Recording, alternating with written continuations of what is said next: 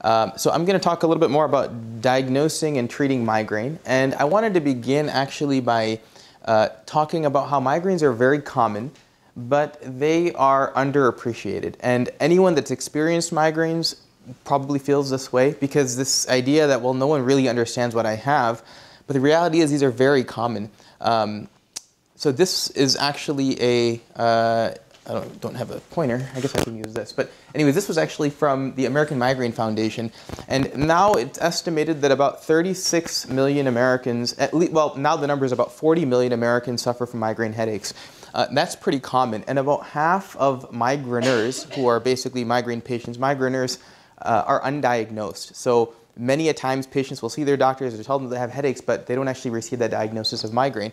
Just to show you how uh, common it really is, uh, this is coming out kind of small, but it's the, the World Health Organization in 2010 identified migraine as the seventh most disabling disease worldwide. Disabling disease.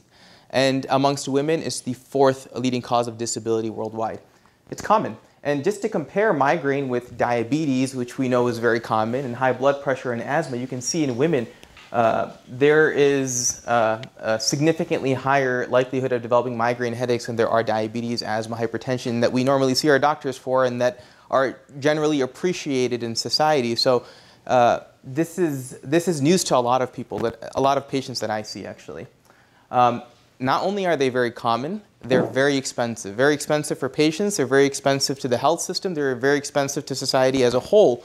Uh, if you look at the cost um, in 2008, this is not 10 years ago, so obviously the numbers have shifted up. $11 billion were spent on inpatient or outpatient care, clinic visits, ER visits, and prescriptions in one year alone. Um, and the three month cost for a patient is about $1,000 on average for someone that suffers from chronic migraine and about three to $400 for someone that suffers from episodic migraine. And I'll explain the definitions shortly. So it's very common, it's very expensive. So it only makes sense that we as a society identify it better, we appreciate it better, and then we learn to treat it in, a, in an effective way that's for the betterment of our patients and certainly in a cost-effective way as well. $13 billion of indirect costs to employers in missed work, and decrease productivity. $13 billion to employers. So this is not just affecting you, it's affecting the companies that you work for as well. And then that affects, of course, the entire society. And so this is why there's this tug, tug, tug of war.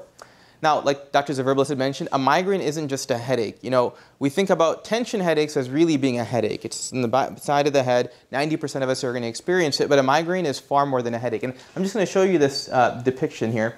This is a typical patient that has migraine. You can see here that number one, her eyes are closed. Why? Because she's sensitive to light. Um, number two, she's holding one side of her head. Migraine headaches tend to be on one side. They can switch over to the other side, but they usually are um, they usually are one side or the other. Um, you can see she's sensitive to noise, um, and at least the artist had mentioned that she's speaking in a low voice to avoid aggravating pain. When you see someone that's in the middle of a severe migraine attack, they don't really raise their voice. They talk kind of low because their own voice irritates them, and certainly the voices of other people as well. They just want to be left alone by themselves in a dark, quiet room. So this is a, a nice depiction of that. Now, it's not difficult to diagnose, as difficult as we may make it seem. Uh, the average person can actually diagnose this. It's just very straightforward. If your headache tends to be more one side than the other, you probably have migraine. If it lasts for several hours to days, there's a good chance that it's migraine. If it is associated with either a sense, a sensation of feeling nauseous or even vomiting or just feeling sick to your stomach, it's probably migraine. If you become ultra sensitive to your surroundings, that could be light, that could be noise, that could be smells, that could be children, that could be your in-laws, it could be anyone. If you become more sensitive than you normally are to these uh, individuals, then uh, it's a possibility during your headache, not just in general. During your attacks of migraine, then it's, it's possibly a migraine. And migraineurs, like Dr. Zaverblis mentioned, it's worse uh, with moving around. A migraine just wants to be left alone by themselves in a dark, quiet room. Other types of headaches don't have this very characteristic feature. Um, and as she had mentioned, migraineurs can have aura. So as you can see, there's, there's more than just head pain involved in someone that has migraine headaches. Um, the aura itself is very interesting. You can see this uh, graph uh, there's the prodrome that Dr. Zaverblis mentioned. There's a headache itself and then the postdrome. But the aura occurs, we say, within an hour before the headache. And aura for every person can be different. These are just some examples of aura. Um, some of you may experience something like this. It's the same age image. Some people experience zigzag lines. Some people experience sparkles of light in their vision. It begins and then it sort of expands over the course of uh, minutes. This is, again, the same image. Some people, from one side of their vision, they begin to see something coming across. To some people, it's dead center, and this is very bothersome because when they're on a computer at work, they can't work. If it's on the side or if it's coming from the top or down, you can continue to work for those few minutes as the clock runs out on you. But when it's in dead center in your central vision, it's very difficult to function. I actually have patients that uh, will tell me that their aura is more disabling than the headache itself because it comes in the way of their function. They can live with their headache or they can function with their headache, but when, that, when their visual symptoms start, they feel very disabled. And then, of course, these are, I guess, fireworks and, in vision. So it could, it could vary. Um, some people experience, like Dr. Zverblis mentioned, uh, tingling down one arm. Some people develop um, difficulty with speaking. These all occur, generally speaking, before the headache actually begins within that hour. Um, everyone's aura is unique to them. Uh, and we have our patients often draw their auras. In fact, there's competitions and things. This is one of my patients, of course, without any patient-sensitive information. This is her aura. So what she sees is this, and it's only when she sees people, not other parts of the environment. It's only when she sees people that their body parts are displaced. The eyes are shifted toward one side, both arms are on one side, the nose will be on the opposite side. And um, what does it look like? I'm sorry? Picasso. Yeah, and in fact, she told me my aura are just like Picasso paintings. So I was like, very interesting. So um, this is a, this is something that we discuss. It's in the literature, and we've discussed this at conferences as well. It's very unique. This is actually a Picasso photo, um, and it's actually amusing to her because sometimes she'll be sitting in a meeting, and then she'll develop the aura, and now all of her colleagues look like that, and so she'll have to refrain from uh, from actually laughing. So. Um, this is her aura, and everyone's aura is unique to them. So now once we've made the diagnosis, very straightforward. One-sided headache, some nausea, you want to be left alone by yourself, and the pain is usually pretty bad.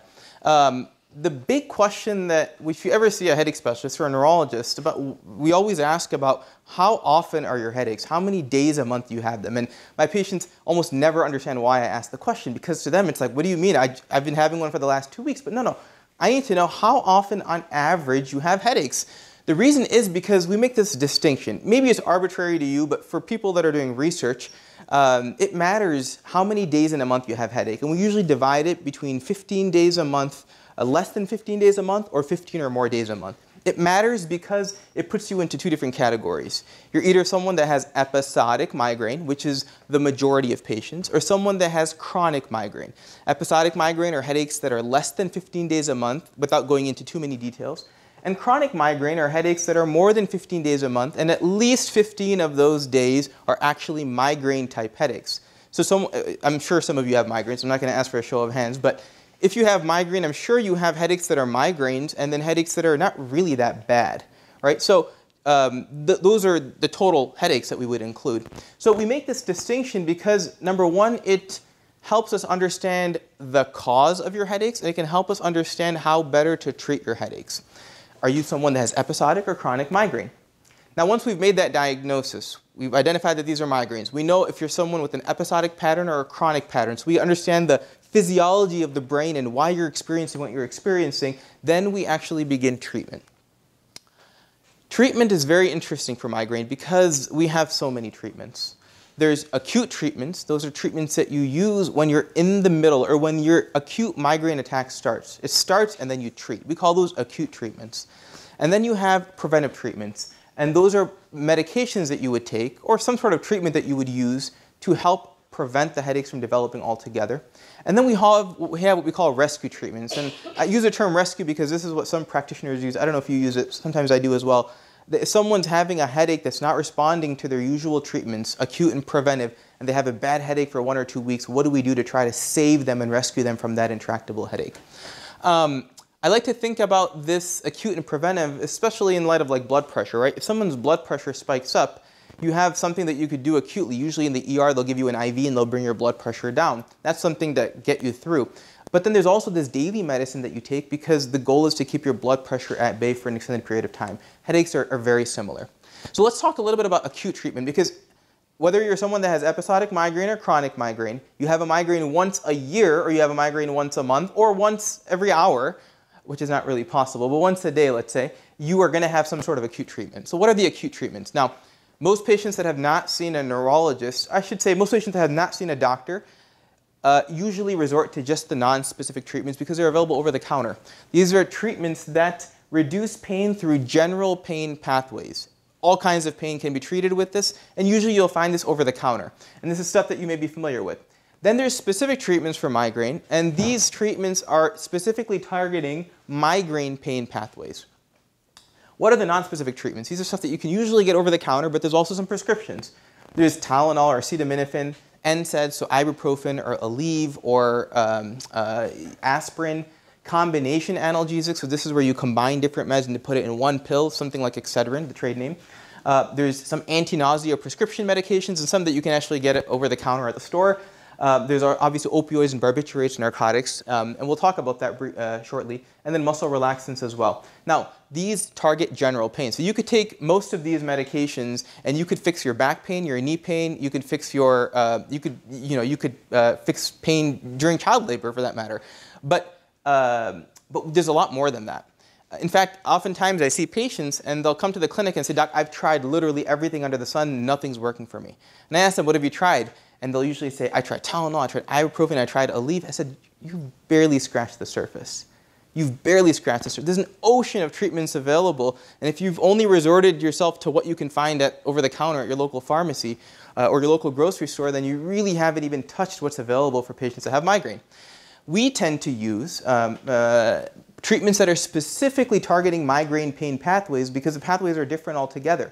Now, while some of these will work, you know, sometimes Excedrin does work for a migraine, sometimes ibuprofen will work, we tend to need some of the stronger medications. So there's triptans, which are what we consider kind of first line for someone that has bad migraine headaches. Uh, there's dihydroergotamine or DHE, which is available not just in IV formulation, but also in, um, in, uh, in injection form and also in the form of nasal sprays uh, and then ergotamines. In terms of triptans, these are the first line treatments for someone that has migraine. We like to think of it as first line because it seems to work better than anything else we have. There's sumatriptan, rizatriptan, and the list goes on. How do we choose which one we want to use for our patients? Well, it's a conversation. Each one seems to work just as well as the next, but some seem to have different side effects. For one, uh, uh, one, one of them, for instance, will make you feel sleepy. One of them will make you feel like you're having chest pain and you're having a heart attack. Some people are deathly afraid of that. One of them will make you feel a little bit more nauseous. So whichever one is the most bothersome, we avoid it. Whichever one you don't mind having, we recommend that medication. And some of them tend to last a little bit longer. So depending on how quickly it'll work and how long it'll last, we make a decision ba uh, based off of these seven. Now, some patients can't use triptans. Most patients can, but some cannot. And usually it's patients that have problems with blood vessels elsewhere in the body. So if you've ever had a heart attack in the past or a stroke, if you have blood pressure that's quite uncontrolled, if you uh, have complicated migraines, these are very rare, but there are certain rare types of migraines where, for instance, you become weak on one side of the body, or you become, um, you have difficulty, or you start slurring your speech. We tend to avoid it in this class, but these are very rare forms of migraine. Um, uh, Pregnancy, it depends. For the most part, we try to avoid it, but in someone that has bad migraines that don't respond to other treatments, we will sometimes use it for pregnancy, during uh, pregnancy in conjunction with, uh, uh, or after seeking advice of the OB physician as well.